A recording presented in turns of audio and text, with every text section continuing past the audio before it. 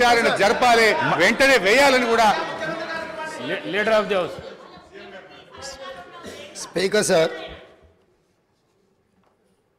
మాజీ మంత్రివర్యులు హరీష్ రావు గారు ఐదు సార్లు శాసనసభ్యుడిగా నా తెలిసక్క లెక్కలు. ఐదే సార్ ఆయన ఏదో దొంగ లెక్కలు కలుపుకొని వేయడని చెప్తుంటాడు కానీ ఆయన ఎన్నికైందే రెండు వేల ఐదులా. రెండు వేల ఐదు రెండు వేల తొమ్మిది రెండు వేల పద్నాలుగు రెండు వేల పద్దెనిమిది రెండు వేల ఇరవై మూడు. ఇంకా అన్ని రాసుకోండి బై ఎలక్షన్స్ రాసుకోండి వాళ్ళ మామ గెలిచినవి కూడా ఆయన దాంట్లో రాసుకోండి ఏం అభ్యంతరం లేదు. వారు వివిధ హోదాలలో వారు పని చేయడం జరిగింది. రెండు వేల పద్నాలుగు నుంచి రెండు వేల పద్దెనిమిది వరకు వారే సాగునీటి పారుదల శాఖ మంత్రిగా పనిచేసిండ్రు. వారి తర్వాత మాజీ ముఖ్యమంత్రి గారు చంద్రశేఖరరావు గారు సాగునీటి పారుదల శాఖ మంత్రిగా పనిచేసిండ్రు. అంటే ఈ తొమ్మిదిన్నర సంవత్సరాలు వాళ్ళ కుటుంబం తప్ప ఇతరులు ఎవ్వరు సాగునీటి పారుదల శాఖ మంత్రిగా పనిచేయలేదు. వారు ఆర్థిక మంత్రి తర్వాత ఈ రాష్ట్రం మీద ఉన్న అప్పులు కానీ వివిధ కార్పొరేషన్ల పేరు మీద చేసిన అప్పులు కానీ సంపూర్ణంగా వారి దగ్గర సమాచారం ఉంటుంది. ఎందుకంటే ప్రతిరోజు రిజర్వ్ బ్యాంకు వాళ్ళ దగ్గర ఉన్న నిల్వలన్నీ మన అవసరం ఎంత రిపోర్ట్ ఫైనాన్స్ సెక్రటరీ గారికి ఇస్తారు. ఫైనాన్స్ సెక్రటరీ గారికి ఇచ్చినట్టే అది ఫైనాన్స్ మినిస్టర్కు ఇచ్చినట్టే. ఇప్పుడు నేను వారు పదే పదే ఎన్నికల సందర్భంలో కాళేశ్వరం ప్రాజెక్టు అంచనాలే ఎనభై వేల కోట్లు లక్ష కోట్ల అవినీతి జరిగిందని ఎట్లా అంటారు వీళ్ళు లీడర్లు కాదు వీళ్ళు రీడర్లు. రాసిచ్చింది మాత్రమే చదువుతారని చెప్పి ప్రజల్ని మభ్యపెట్టడానికి శాయశక్తుల్లో వాళ్ళ కుటుంబం అంతా ప్రయత్నం చేసిండ్రు. సరే మేమేం చెప్పినాం వాళ్ళు ఏం చెప్పినారు ప్రజలాలు అనేది పక్కన పెడితే వాస్తవాలు అనేటివి కొన్ని ఉంటాయి. ఆర్థిక శాఖ ఉన్నది ఈరోజు. ఆర్థిక శాఖకు మొన్నటి వరకు పనిచేసిన మంత్రి గారు పేజీ నెంబర్ ఇరవై ఒకటి. వారు చూసుకోవాలి. తమరి ద్వారా మిగతా సభ్యులు కూడా.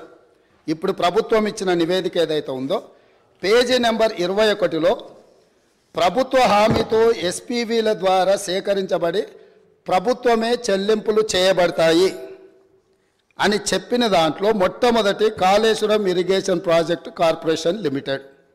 Sanctioned loan తొంభై ఏడు వేల కోట్ల నాలుగు వందల నలభై తొమ్మిది. తొంభై ఏడు వేల నాలుగు వందల నలభై తొమ్మిది కోట్ల రూపాయలు రుణం మంజూరైంది. ఇందులో లోను విడుదలయ్యింది డెబ్బై తొమ్మిది వేల రెండు వందల ఎనభై ఏడు కోట్ల రూపాయలు. నేనిప్పుడు తమరి ద్వారా ఆర్థిక మంత్రి గారిని సూటిగా ప్రశ్నించదలుచుకున్నా.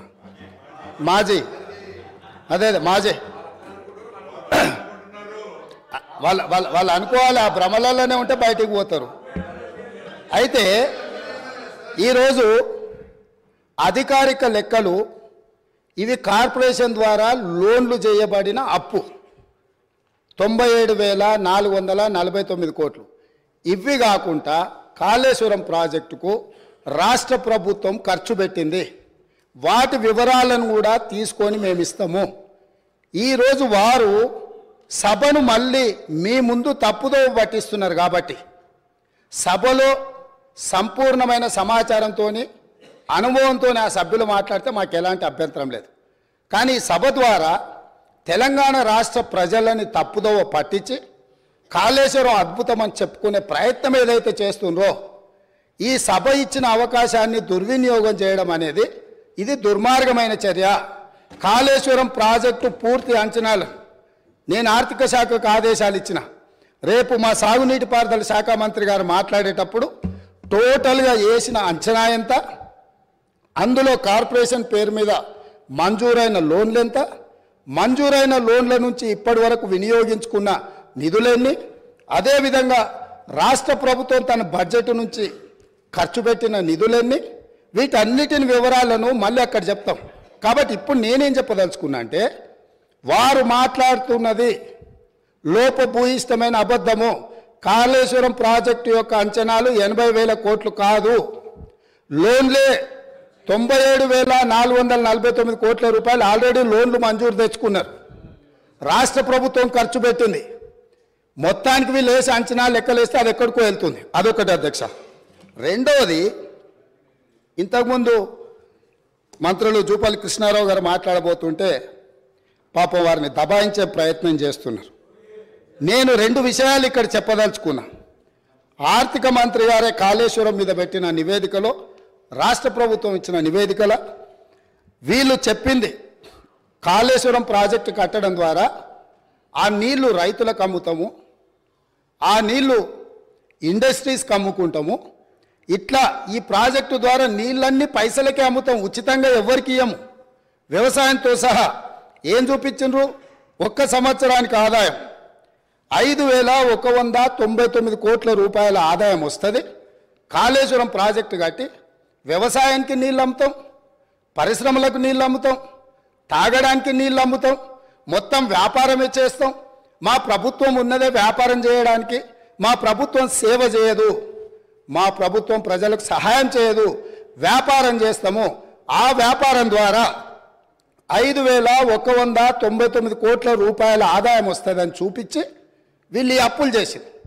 ఈ సంతకాలు పెట్టింది ఎవరు? ఈరోజు అక్కడ కూర్చొని మాట్లాడుతున్న మాజీ ఆర్థిక మంత్రి గారు.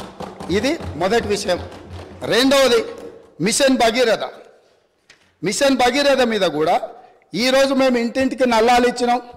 అసలు మీరు పుట్టినప్పుడు ఇటు ఉన్నోళ్ళని అందరిని అడుగుతున్నా. వారిని కూడా అడుగుతున్నా. రెండు వేల పద్నాలుగు కంటే ముందు మన మంచినీళ్ళు తాగలేదా అధ్యక్ష? మన గ్రామాలలో నల్లాలు లేవా? మన గ్రామాలలో నీళ్ళ ట్యాంకులు లేవా? వీరు వచ్చినాకనే వీరు వచ్చినాకనే శివుడి తల మీద ఉన్న గంగను భూమి మీదకి తెచ్చి భూమి మీద ఉన్న గంగను కాళేశ్వరంలోకి పారించి కాళేశ్వరం ఉన్న గోదావరి జలాలను మన ఇంట్లల్లో నల్ల ద్వారా ఇచ్చి మన జీవితాలు ధన్యమైనట్టు అదేదో వీళ్ళు అద్భుతం చేసినట్టు అదేదో ఉచితంగా ఇస్తున్నట్టు ఈ ఉచితంగా ఇవ్వడం ద్వారా తెలంగాణనే దేశానికి నెంబర్ వన్గా ఆదర్శంగా ఉన్నట్టు ఈ సభలో నించొని బయట రాజకీయ ఉపన్యాసాలు ఏమి ఇచ్చుకున్నా మనకేం అభ్యంతరం లేదు అధ్యక్ష. కానీ సభను మిస్లీడ్ చేసే విధంగా శాసనసభ వ్యవహారాల శాఖ మంత్రిగా గతంలో పనిచేసి ఆ అనుభవాన్నంతా ఉపయోగించి సత్యదూరమైన వార్తల్ని ఇక్కడ చెప్పడానికి ప్రయత్నం చేస్తున్నాడు. అందుకే మిషన్ భగీరథ మీద కూడా నేను చెప్పదలుచుకున్నా అధ్యక్ష. ఇది రెండు వేల పంతొమ్మిది రెండు వేల ఇరవై సంవత్సరంలో వీళ్ళు రూరల్ హౌస్ హోల్డ్కి అమ్మడం ద్వారా వెయ్యి ముప్పై కోట్లు సంపాదిస్తామని మున్సిపల్ కార్పొరేషన్లో ఉండే ప్రజలకు నీళ్ళు అమ్మడం ద్వారా నూట అరవై తొమ్మిది కోట్లు సంపాదిస్తామని. అదేవిధంగా మున్సిపల్ రిక్వైర్మెంట్ ఇతర అవసరాలకు మూడు వందల అరవై కోట్లు సంపాదిస్తామని. అదేవిధంగా ఇండస్ట్రియల్ అవసరాలకు అంటే పరిశ్రమల అవసరాలకు అమ్మి నాలుగు వేల ఒక వంద నలభై ఏడు కోట్ల రూపాయలు. మొత్తం కలిపి ఐదు వేల ఏడు వందల ఆరు కోట్ల రూపాయలు ప్రతి సంవత్సరం మిషన్ భగీరథ మీద మాకు ఆదాయం వస్తుంది. మేము ఈ ఆదాయం ద్వారా మీకు అప్పులు తిరిగి చెల్లిస్తామని చెప్పి ఈరోజు బ్యాంకులను మభ్యపెట్టి తప్పుడు నివేదికలు ఇచ్చి లోన్లు తెచ్చిండ్రా. మాజీ ఆర్థిక మంత్రి గారు చెప్పాలి. లేదు నిజంగానే ప్రజల దగ్గర వసూళ్ళు చేసి తాగునీళ్ళను సాగునీళ్ళను వ్యాపారంగా మార్చి వ్యాపార ఆట వస్తువుగా నీళ్ళను మార్చి ప్రజల సెంటిమెంటును తెలంగాణ ఉద్యమంలో వాళ్ళ పార్టీ చెప్పింది నీళ్ళు నిధులు నియామకాలు. నీళ్ళే మొదటి సింహభాగం వాళ్ళ ఉద్యమం వాళ్ళ నాడు వాళ్ళ పార్టీ చెప్పుకున్నది. ఆ నీళ్ళ ద్వారా వ్యాపారం చేసి దాదాపుగా ఒక్క కాళేశ్వరం ద్వారానే ఐదు వేల ఒక వంద తొంభై తొమ్మిది కోట్లు మిషన్ భగీర ద్వారా ఐదు వేల ఏడు వందల ఆరు కోట్లు. అంటే పదివేల ఎనిమిది వందల కోట్ల రూపాయలు రైతులను పేద ప్రజలను ముక్కు విండి వసూలు చేస్తామని ఈ నివేదికలు ఇచ్చి అడ్డగోలుగా వేల కోట్ల రూపాయల అప్పులు తెచ్చి ఇప్పుడు ఈ అప్పులను బయట పెట్టినప్పుడు అవును మా చేతగానితనం వల్ల మా నిస్సహాయత లేకపోతే అవగాహన లోపం వల్ల ఈరోజు ఇట్లా తప్పు జరిగింది. కాబట్టి దీన్ని సరిదిద్దుకోవడానికి ప్రధాన ప్రతిపక్షంగా ప్రభుత్వానికి సహకరిస్తామని ముందుకు వస్తామని మాట్లాడాల్సిన విషయాలను పక్కన పెట్టి ఈరోజు దబాయిస్తున్నారు. ఇంకొకటి అధ్యక్ష ఇంతకుముందే వారు మాట్లాడుతూ తెలంగాణ టిఎస్ఐఐసి టిఎస్సి ఐఐసి ద్వారా ఏవైతే లోన్లు ఉన్నాయో వాళ్ళే కట్టుకుంటారు. మాకేం సంబంధం లేదు అని అసలు మేము కట్టాల్సిన పనే లేదని మాజీ ఆర్థిక మంత్రి గారు ఇదే సభలో అక్కడి అని చెప్పింది వారు ప్రవేశపెట్టిన నివేదిక అధ్యక్ష ఇది నేను ఎక్కడి నుంచి తీసుకురాలే. మా ముప్పై ఒకటి జనవరి రెండు వేల ఇరవై మూడు టీఎస్ఐఐసి హడ్కో లోన్లకు వీటన్నిటికీ మేము గ్యారంటీ ఇచ్చి మేము కడతామని చెప్పి వాళ్ళు ఇచ్చిన నివేదిక. అంటే ఈరోజు ఏ కార్పొరేషన్ల ద్వారా లోన్లు తెచ్చినా పర్టికులర్గా వారు టీఎస్ఐఐసికి సంబంధించిన నిధులు మేము చెల్లించాల్సిన అవసరం లేదు ప్రభుత్వానికి సంబంధం లేదు వాళ్ళే చెల్లిస్తారు అయితే చెప్పిండో వారు సత్యదూరమైన అంశాలను ఇక్కడ ప్రస్తావించిండ్రు. కాబట్టి ఈరోజు వారిచ్చిన నివేదికనే ఇతరులు ఎవరో ప్రవేశపెట్టిన వారికి సంబంధం లేదు వారు చూడలేదు వారికి అవగాహన లేదు అని అంటే మనకి ఎవరికి అభ్యంతరం లేదు. కానీ వారు ఇచ్చిన నివేదికనే తప్పుదోవ పట్టించి ఈరోజు వారు లేదు లేదు నేను మాట్లాడిందంతా గతంలో చెప్పింది ఒక రకము ఇప్పుడు చెప్తున్నది ఇంకొక రకం అని చెప్పి వారు మాట్లాడే ప్రయత్నం చేస్తారు అదేవిధంగా వారు చాలా అద్భుతమైన బడ్జెట్ను ప్రవేశపెట్టినాం. మా అద్భుతమంతా చూసి దేశమంతా మమ్మల్ని పా ఏమంటాలి మమ్మల్ని మ- మమ్మల్ని అనుకరించాలి.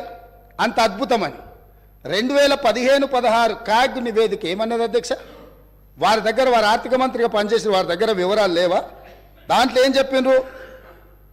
వీళ్ళు కాగ్ నివేదిక ప్రకారం ఆఫ్ బడ్జెట్ అంటే బడ్జెట్లో రాని అప్పులను తీసుకొచ్చి ఆదాయంగా చూపించి మొత్తం బ్యాంకులను ప్రభుత్వ వ్యవస్థలను తప్పుబట్టిండ్రు అని చెప్పి కాగ్ నివేదిక స్పష్టంగా ఈ రాష్ట్ర ప్రభుత్వాన్ని తప్పుబట్టింది. ఈ ప్రభుత్వం ఉద్దేశపూర్వకంగా ఆర్థిక సంస్థలన్నిటిని కూడా తప్పుదోవ పట్టించి అత్యధిక వడ్డీతో రుణాలు తీసుకొచ్చి ఈ రాష్ట్రాన్ని అప్పుల కూపంగా తయారు చేసిందని కాగ్ నివేదిక రెండు వేల పదిహేను పదహారులో ఇచ్చిన లేఖ అధ్యక్ష ఇది. అదేవిధంగా బడ్జెట్ తయారీలోనే లోపాలు ఉన్నాయని రెండు వేల పద్దెనిమిది పంతొమ్మిదిలో అసలు మీరు తయారు చేస్తున్న బడ్జెట్లోనే లోపభూయిష్టంగా ఉన్నది. మీ విధానాన్ని మార్చుకోండి. మీ విధానాన్ని మార్చుకోవడం ద్వారా రాష్ట్రానికి మేలు జరుగుతుందని చెప్పి స్పష్టంగా కాగు మొట్టకాయలు వేసింది ఆనాటి ప్రభుత్వాన్ని. ఇన్ని రకాల వాస్తవాలు ఉన్నా వారికి ఉన్న అనుభవాన్ని అంతా కూడా వినియోగించి అబద్ధాలు చెప్పి ఈ సభను ఈ రాష్ట్ర ప్రజల్ని తప్పుదోవ పట్టించాలనే ప్రయత్నం చేస్తుండ్రో. ఇది శాసనసభ వ్యవహారాలు నిర్వహించే మా శ్రీధర్ బాబు గారికి సూచన చేస్తున్నా. సభను తప్పుదోవ పట్టించే విధంగా సభ్యులు ఎవరైనా మాట్లా